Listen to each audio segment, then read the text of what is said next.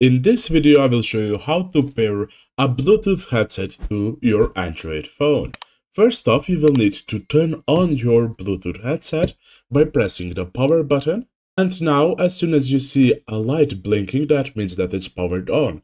Some Bluetooth headsets have a pair button as well, so you might want to press that to put your headset into pairing mode so it's recognizable by your phone but mine doesn't, so the next step that I'll need to do is open up the settings application on my phone. After I open up the settings application, I want to go into connections right here, then go into Bluetooth.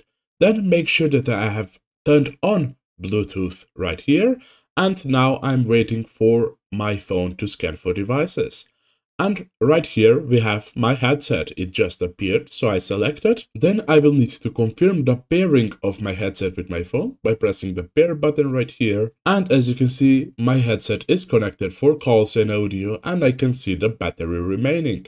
If I want to change some of the settings, I can press the cog icon next to my headset and I can edit the settings. Then at the bottom you can also unpair the headset, disconnect it or rename it. After you have done that, you can jump into any application that you want to use and enjoy your headset. That is it for this video. Thank you for watching. See you in the next one.